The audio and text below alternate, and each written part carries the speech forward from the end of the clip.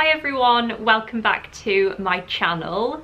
Long time no speak. You may or may not have noticed that over the past four or five weeks, I think it is now, I've not been uploading on my booktube channel, but today I am and I just wanted to sit down with you all and have a good chat with you all really about where I've been, what I've been doing, why I've not been uploading, what I've been reading. Quickly before we start, I do just want to point out that I have a new camera. You may or may not be able to tell by the quality, but I'm so excited about it. I've actually never owned a camera before. I've always filmed on my phone before now so this is pretty cool for me. I've been wanting one for a while and I decided to just splash out and treat myself so I'm very excited. I don't really know what I'm doing with it yet. I may be way too bright I may be too dark I may not be in focus all of the time, I don't really know, but I'll continue to play around with it and hopefully it will mean better quality videos in the future. So I'll start off by telling you why I've not been posting videos over the past month or so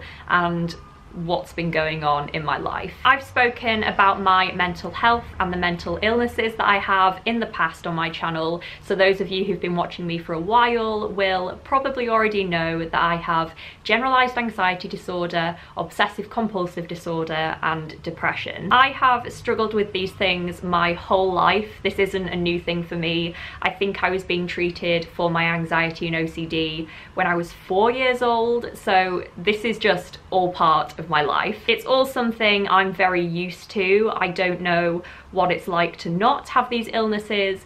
So combine this with all of the many years of treatment that I've undergone during my lifetime.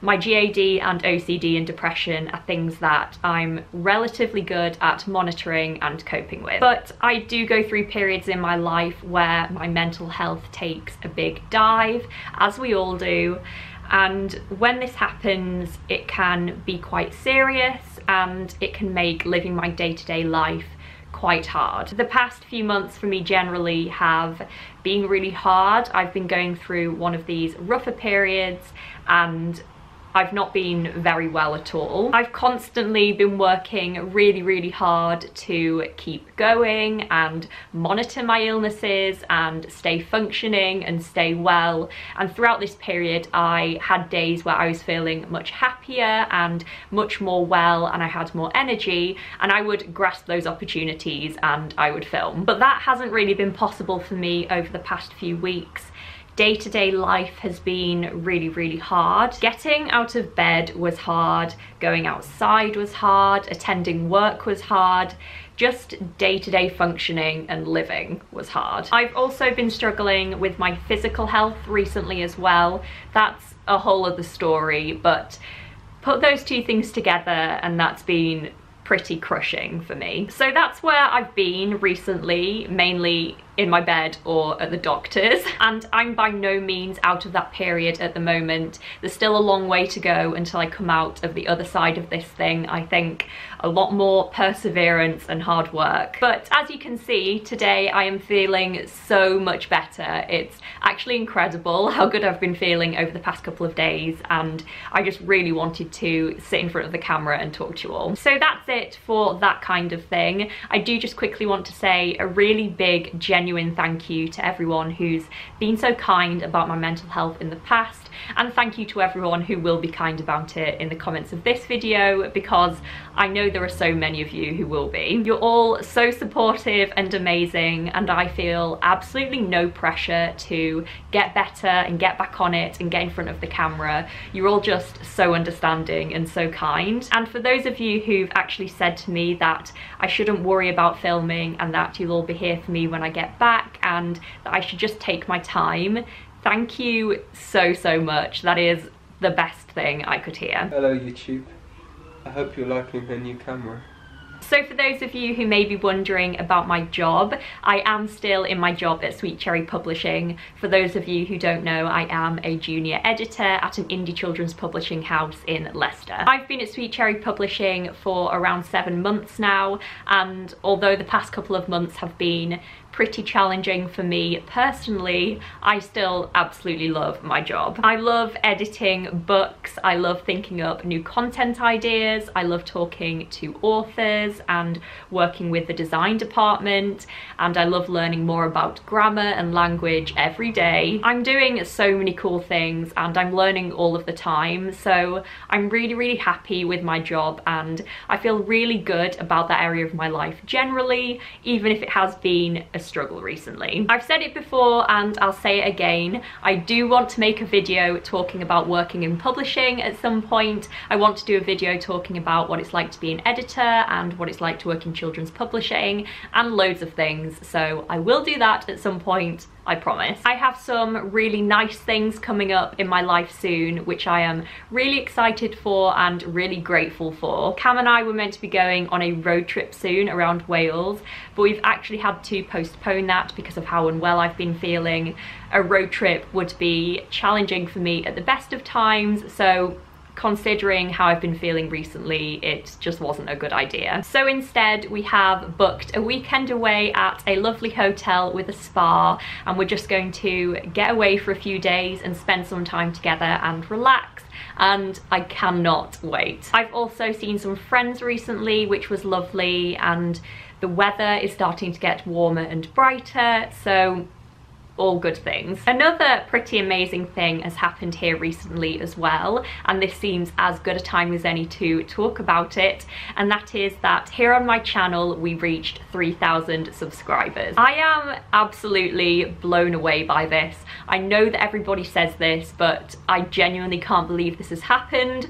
I cannot fathom the idea of 3,000 people liking me and choosing to subscribe to me and watch me. This channel and you lot fills my heart with so much happiness and light and joy and I am so appreciative for all of it. Thank you so so much to every single one of you. Thank you so much for being here and thank you for sticking with me. I do really want to do something to celebrate 3,000 subscribers and to give back to you all, but I don't really know what to do. My brain can't really think of anything at the moment. So please let me know what you'd like to see. Would you like to see a giveaway or a Q&A? I did a Q&A for 1,000 subscribers, I think, and everyone seemed to really like it. If we did that, you could ask me anything, literally anything, no boundaries. Please just let me know. We'll have a brainstorm down below in the comments and I'll make it happen. So I think that basically sums up my life recently.